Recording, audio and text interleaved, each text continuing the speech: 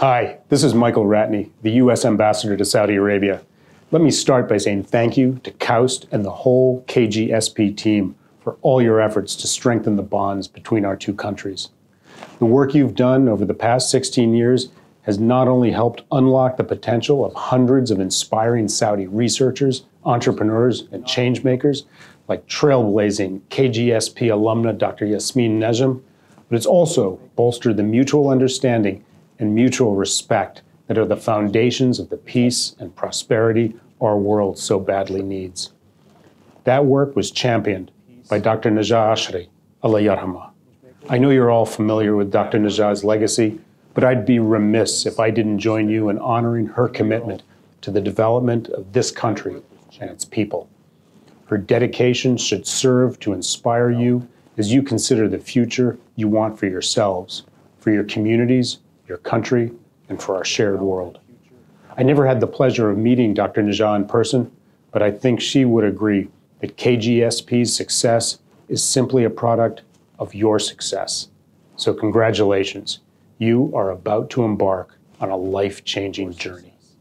The next four years will be transformative, and frankly, part of me would love nothing more than to trade places with you. Over the coming months and years, you'll have the opportunity to learn, explore, and question the world around you. Thinking will be your full time job.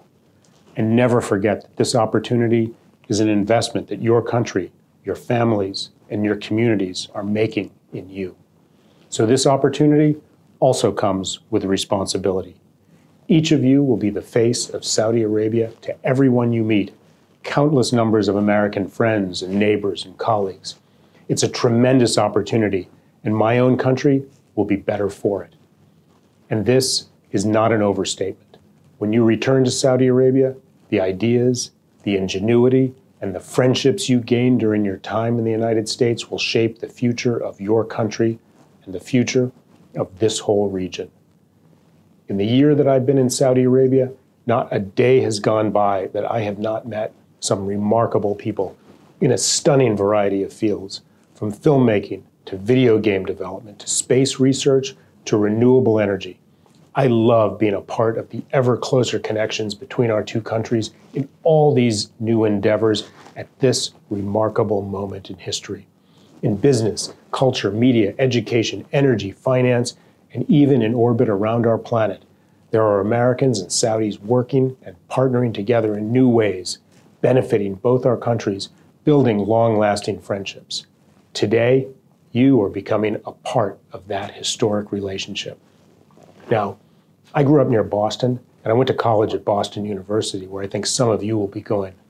Whenever I visit, it always feels like home. So, for those of you heading to Boston, I hope you feel as much at home there as I do. And wherever you're going, whether it's Boston or Philly or Irvine or Raleigh or the Twin Cities, you are about to create a new home.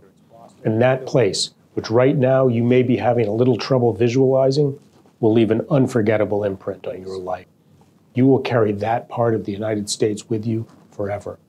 You'll be better for it. And as I said a moment ago, America will be better for it too. You're all stepping into a world filled with endless opportunities, and let's face it, a lot of challenges too. My advice is this every now and then, put down your phones, turn off your computers, and engage.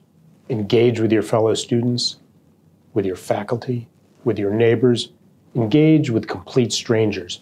Share your traditions. Tell them about your country, your language, your faith, your families, your hopes, and your ambitions. Embrace every opportunity to share and to learn and to listen. So, to all of you, let me end with this. I hope you love my country. I hope you meet some great people. I hope you accomplish amazing things. I hope you all get ready to change the world. And I hope that one day soon we can all meet for coffee and you can tell me all about it.